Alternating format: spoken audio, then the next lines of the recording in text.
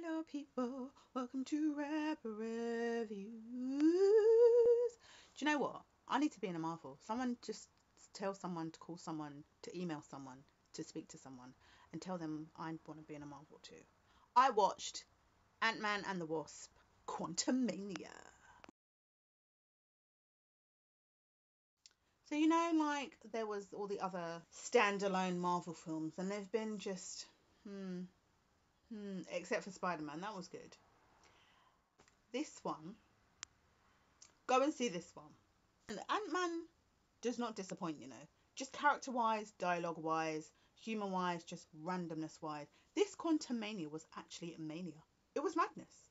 It was really interesting, and it really made me think about just levels of levels because like the infinite possibility it was weird infinite possibilities there was so much going on it got a bit it got a bit star warsy you know characters and stuff a little bit but i was still there i was still there.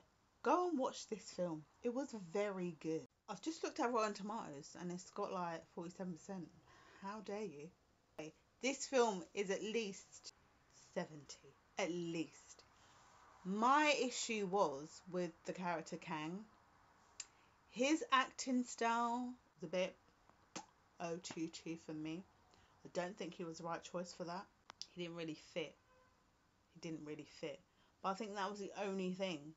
The daughter character may be coming into our own. You know, we'll see what happens there in the future.